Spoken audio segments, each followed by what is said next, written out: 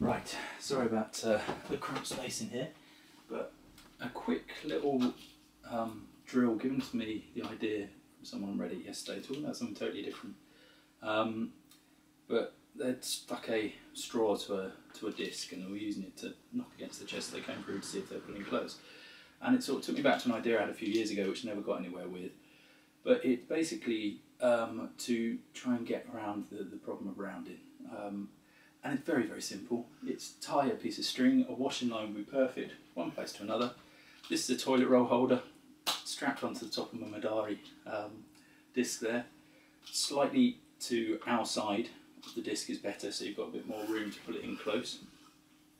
Um, what I want you to do is just set up so your right foot is just underneath the string, or your front foot is just underneath the string, slightly facing away from the target on the tip of your toe so you can pull down into the foot and the back foot is staggered same direction so I'm sort of facing if the target's there I'm kind of off on a slightly more than 45 degree angle away.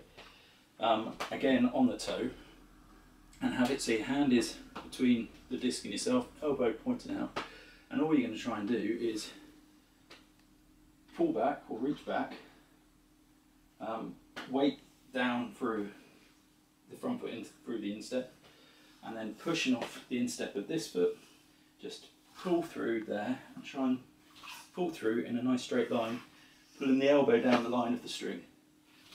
And that, simply enough, should stop rounding. The only problem you've got with that is you can't really put your nose down on the disc, you're pulling through a bit too flat. But um, if you can pull through like that, I'm not using the arm at all at this stage, it's just pushing back foot into front foot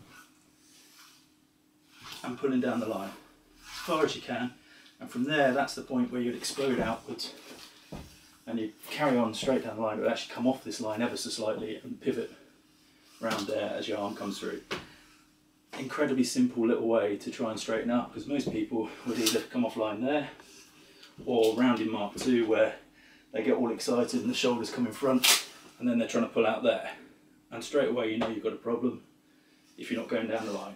But then down the line, simple and doing it with the feet. So foot into foot, into your brace, into that nice position where you're tucked up, loaded.